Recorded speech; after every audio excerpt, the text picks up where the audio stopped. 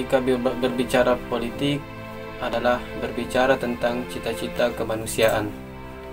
Tentu ketika berbicara cita-cita kemanusiaan, tentu diawali pertanyaan tentang kita berangkat dari mana untuk menggapai cita-cita politik Islam itu sendiri, yakni kemanusiaan.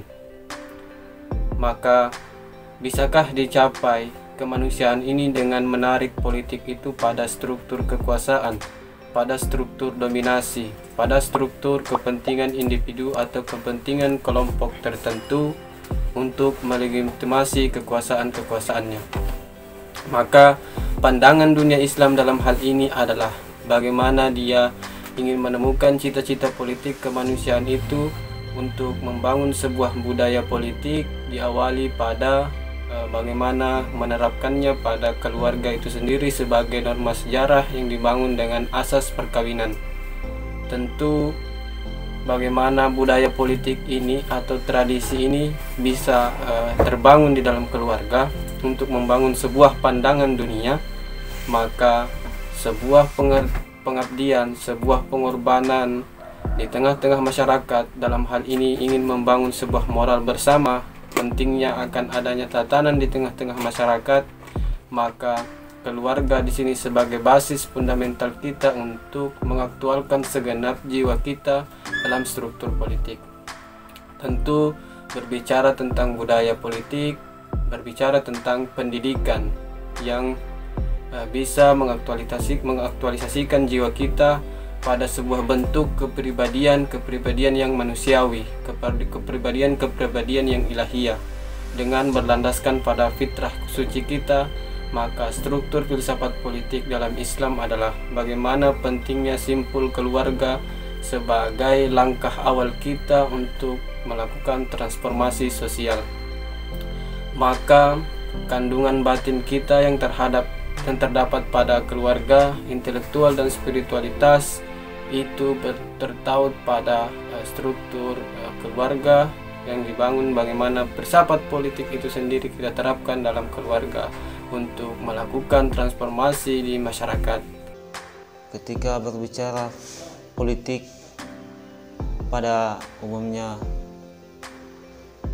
masyarakat mengakui bahwa politik adalah orientasinya kekuasaan. Dalam politik Islam tentu ada moral yang kita bangun. Artinya moral bersamalah kita bangun dalam masyarakat melalui dengan keluarga. Karena dalam keluarga lah kita mendapatkan, kita dibentuk, kita dibimbing untuk mendapatkan moral ketika terjun ke masyarakat. Pada masyarakat pada keluarga lah kita dibimbing nilai kemanusiaan untuk meletakkan tak lain sebagai dasar yang kita bangun untuk melakukan tradisi intelektual, spiritual, dan transformasi sosial dasar yang pertama-tama kita bangun adalah sebagai keluarga. Karena dalam keluarga kita melakukan pembimbingan entah ke pembimbingan pendidikan, hukum, ekonomi, dan bagaimana kita dibimbing untuk mencapai keadilan ilahiyah itu. Dengan keadilan ilahiyah ada pandangan tauhid yang kita bangun yaitu pandangan dunia ilmiah, pandangan dunia filosofis dan pandangan dunia agama.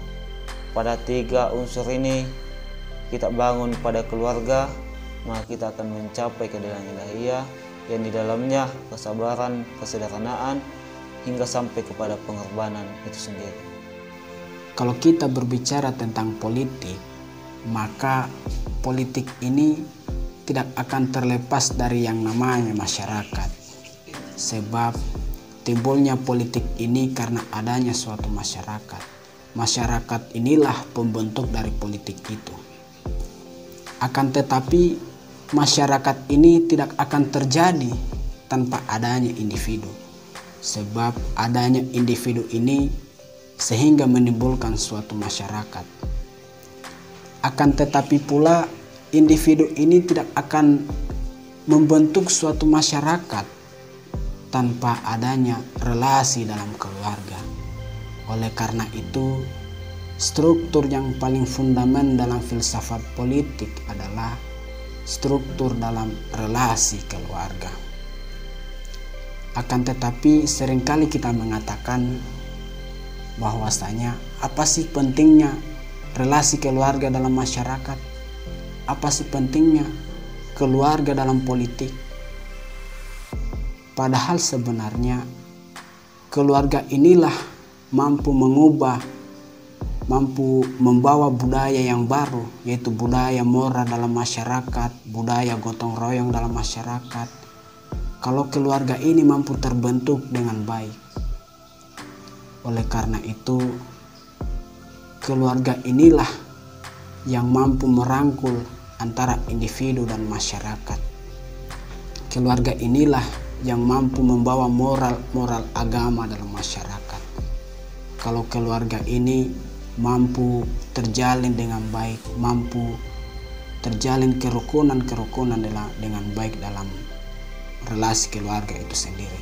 Sehingga dalam relasi keluarga ini akan membawa struktur dalam kemasyarakatan bukan un, bukan untuk menindas masyarakat akan tetapi untuk membawa budaya yang baik yaitu budaya moral untuk sampai pada tujuan dari masyarakat itu. Politik merupakan keautentikan atas kebijakan individu membangun relasi dalam kehidupan sosial untuk mencapai sebuah kebahagiaan dalam kemasyarakatan. Dengan demikian, maka di dalam politik itu sendiri tercantum beberapa isu sentral yakni isu tentang masalah sosial, hukum dan keadilan. Kenapa kemudian isu ini menjadi isu sentral dalam pembahasan politik? Karena politik bicara persoalan membangun kebahagiaan, maka mestinya masalah-masalah sosial itu kemudian harus netral di dalam kehidupan bermasyarakatan. Nah, maka keberadaan hukum sebagai pengingat, sebagai pembatas atas penyimpangan-penyimpangan yang kemudian ada pada kehidupan bermasyarakatan atau dalam kehidupan sosial. Nah, maka demikian keadilan pun akan tercapai di dalam kehidupan bermasyarakatan atau kehidupan politik. Nah, topik pembicaraan kali ini adalah fokus kita terhadap politik yang bukan sifatnya secara pragmatis akan tetapi politik yang sifatnya berbasis keluarga.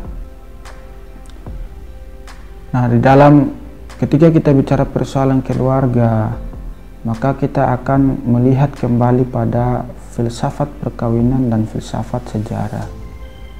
Nah, sebagaimana tujuan individu adalah masyarakat, maka untuk terbentuknya suatu masyarakat dimungkinkan untuk membangun sebuah relasi dengan subsistem yang namanya perkawinan. Dengan demikian masyarakat akan terbentuk.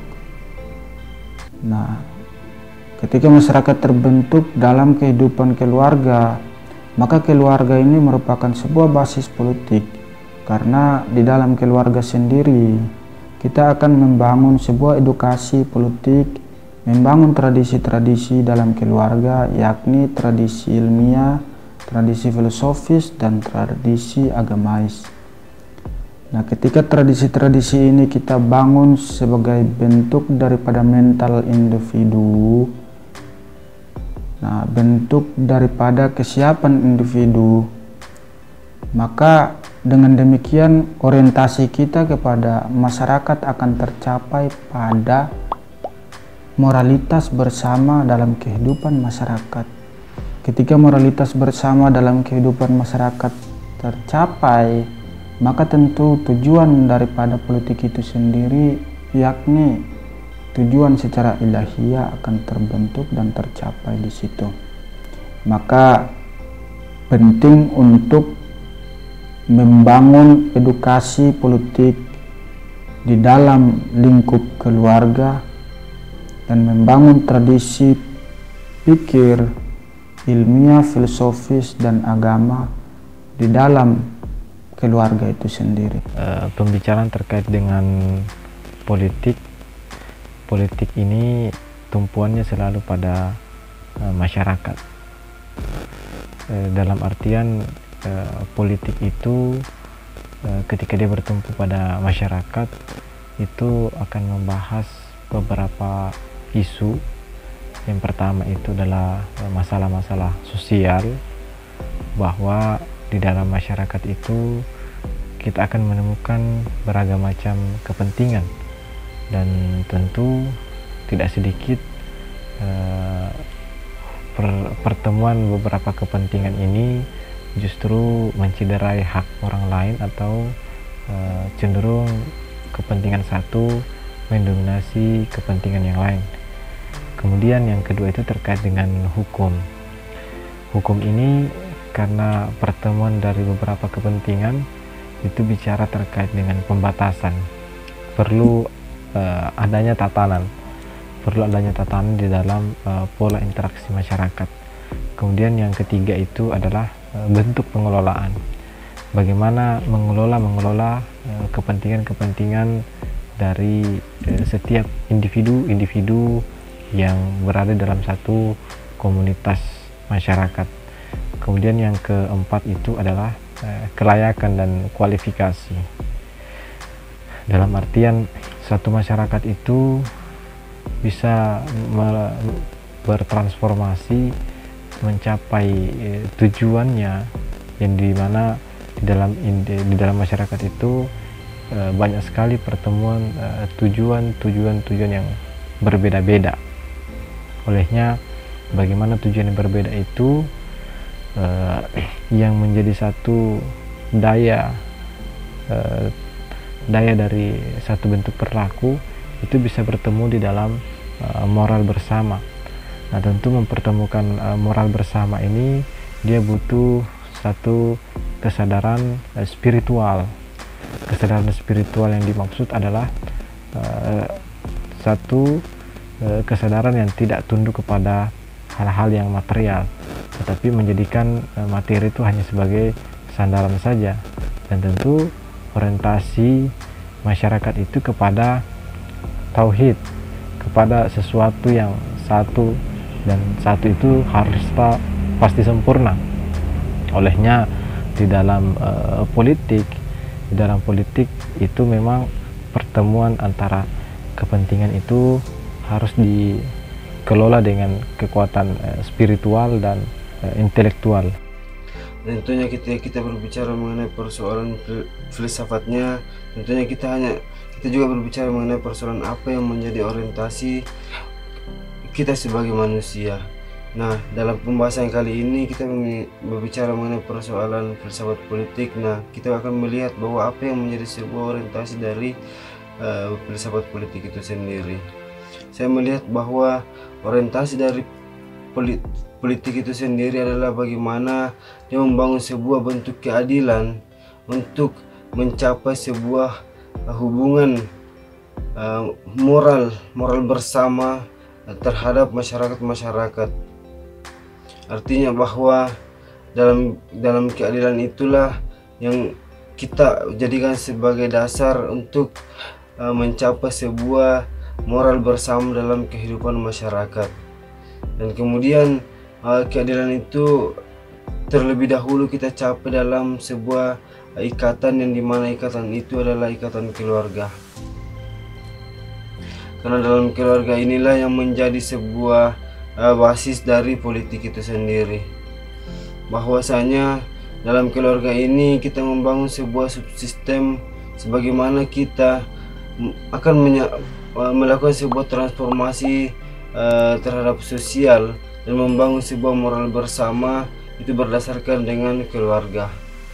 Yang di mana keluarga ini yang menjadi sebuah batu pijakan untuk melangkah kepada hal-hal yang uh, paling besar.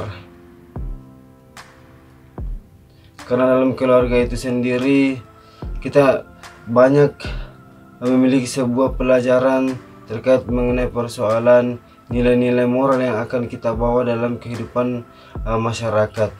Untuk membangun sebuah uh, moral bersama yang di mana kita membangun sebuah moral bersama untuk mencapai sampai uh, satu tujuan yaitu pandangan dunia tauhid.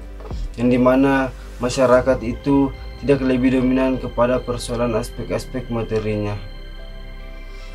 Mungkin uh, sebagai kesimpulan bahwa uh, politik itu tidak hanya berbicara mengenai persoalan-persoalan uh, siapa yang ada di atas uh, dan apa jabatannya. Akan tetapi kita mesti melihat bahwa politik itu adalah hal yang paling mendasar dan yang hal yang paling mendasar itu adalah sebuah keluarga. Karena dalam keluarga inilah kita mencoba untuk atau kita membangun sebuah subsistem untuk melakukan sebuah transformasi sosial guna untuk membangun sebuah moral bersama dalam masyarakat. Politik ialah cara untuk memanusiakan manusia atau kita bicara tentang metode memanusiakan manusia sementara filsafat itu berkaitan dengan satu orientasi tujuan manusia berkaitan dengan kebebasan dan hak manusia. Politik tentu tidak terlepas dari isu sentral mengenai permasalahan manusia berhubungan dengan masalah sosial, hukum, dan keadilan. Dalam refleksi kali ini, perenungan saya itu berkaitan dengan masalah keadilan dan hak dan kebebasan manusia dalam ruang evolusi manusia. Karena politik bicara tentang satu evolusi manusia, tentu dia bicara tentang satu nilai yang berkaitan dengan uh, kehidupan manusia. Substansinya berkaitan dengan moral manusia dalam kehidupan sosialnya, yang kemudian uh, dia jawantahkan dalam kerangka uh, keadilan. Politik hadir dalam satu entitas manusia itu tidak lepas dari satu dasar hubungan manusia dengan alam, hubungan manusia dengan manusia dan hubungan manusia dengan Tuhan dalam satu ikatan uh, yang dicapai pertama kali dengan kesadaran orientasi tujuan manusia secara intelektual dan spiritualitas. Artinya bahwa politik itu substansinya memanusiakan manusia dalam kerangka budaya dan budaya itu dalam pengertian di manusia, budaya manusia adalah budaya intelektual dan spiritualitas yang berkaitan dengan jiwa manusia dalam revolusi dalam bentuk moral kolektif di dalam kehidupan masyarakat dan bentuknya itu dilihat pada perkawinan sebagai norma sejarah. Kenapa? Karena dia bicara tentang satu evolusi manusia berhubungan dengan kesucian dan kesucian itu diikat pertama kali dalam kerangka perkawinan. Kenapa? Karena perkawinan itulah yang kemudian menjadi satu keterjagaan manusia untuk menjaga evolusi jiwa manusia menuju kesempurnaannya. Dalam kerangka perkawinan itu hal itu diwujudkan di dalam eh, perkawinan pertama kali sebelum masuk pada ruang masyarakat. Karena masyarakat adalah cerminan dari keluarga dalam aktivitas politik. Maka filsafat politik dalam Islam bertujuan membangun orientasi kehidupan manusia yang berbudaya dan budaya itu adalah intelektual dan spiritualitas terwujudkan dalam perkawinan sebagai norma sejarah untuk menjaga evolusi manusia dalam makna kesucian. Dan itu terwujudkan di dalam keluarga yang pertama kali dalam konsep jihad sebagai uh, aktualisasi individu dalam menurunkan uh, menjadi uh, nilai sosialnya. Dan itu dicapai pertama kali dengan makna pengorbanan. Apa yang menjadi kebebasan kita, apa yang menjadi hak kita dikorbankan dalam kehidupan keluarga sebelum menuju kehidupan sosial. Jadi politik sejatinya memanusiakan manusia secara intelektual dan spiritualitas dalam kerangka sejarah yaitu berhubungan dengan perkawinan sebagai norma sejarah. Assalamualaikum warahmatullahi wabarakatuh.